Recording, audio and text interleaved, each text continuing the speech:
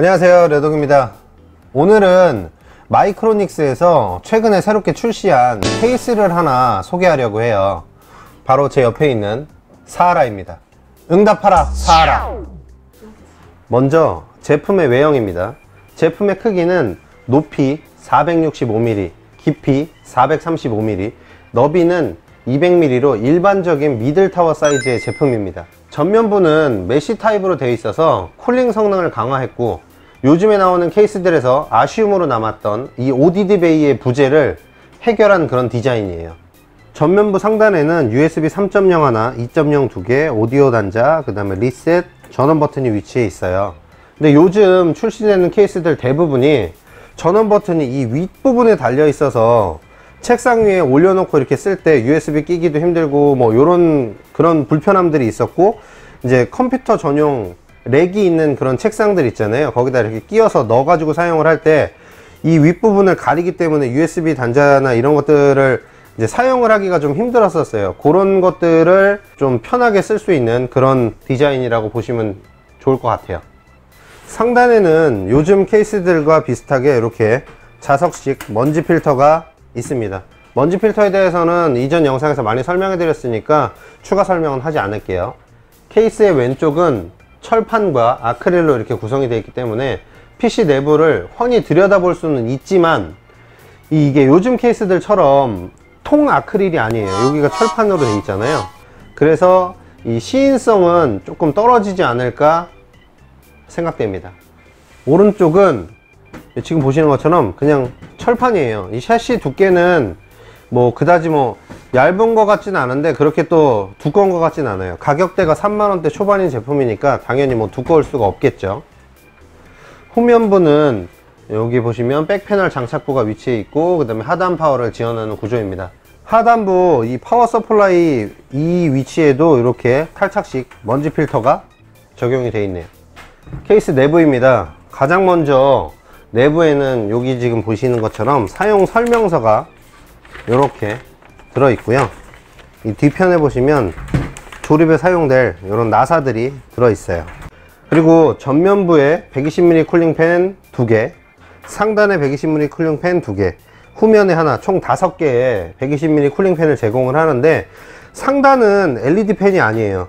전면과 후면은 화이트 LED 팬인데 상단은 LED 팬이 아닌데 이게 아쉬우면서 좀 괜찮은 것 같아요 요즘은 쿨링보다는 이 케이스 디자인에 신경 쓰는 케이스들이 많은데 얘가 지금 3만원대 초반에 형성되어 있는 그런 제품인데 쿨링팬을 기본 5개를 제공한다는 게 굉장히 좀 놀라운 것 같고요 한 가지 아쉬운 부분은 이왕 쿨링팬 5개 제공을 해줄 거였으면 이 상단부 쪽도 LED 쿨링팬을 넣어 가지고 가격을 한 천원 뭐 2천원 더 받으면 안 살래나? 하여튼 뭐 천원 정도 더 받으면 여기다가 LED 쿨링팬 넣어주면 더 이쁘지 않을까? 뭐 그런 생각을 해봅니다. 조심스레 해봐요.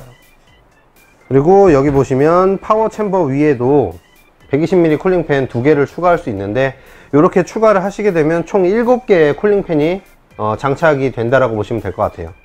그리고 이 power chamber 위에 120mm cooling fan을 추가로 장착하실 분들은 별도로 구매를 하셔도 되고요.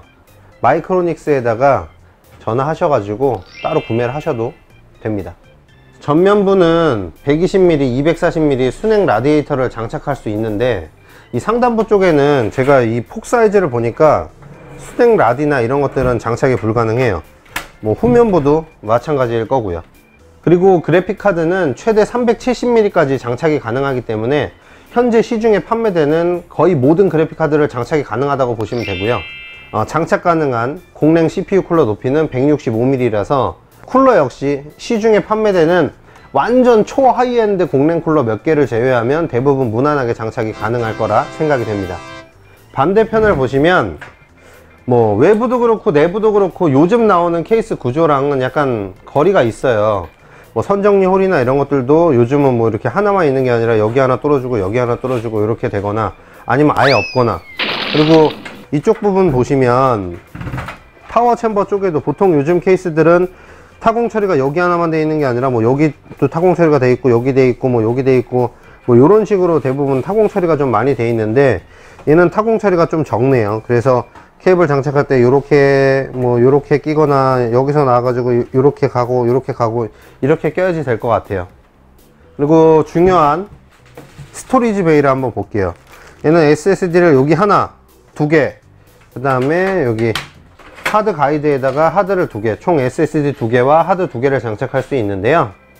만약에 하드를 안 쓰실 분들은 여기가 SSD도 장착이 가능하기 때문에 SSD를 장착을 해서 쓰시면 최대 4개의 SSD까지 장착이 가능합니다. 제품의 소개는 이쯤에서 마무리 하고요. 이제 제가 가서 조립을 한번 해보도록 하겠습니다. 조립하고 올게요. 네. 방금 조립을 하고 왔고요. 지금 보시면 이렇게 조립이 되어 있는 모습을 볼 수 있습니다. 이제 전원 케이블을 연결해서 어떤 모습일지 보겠습니다. 어떤가요? 예쁜가요?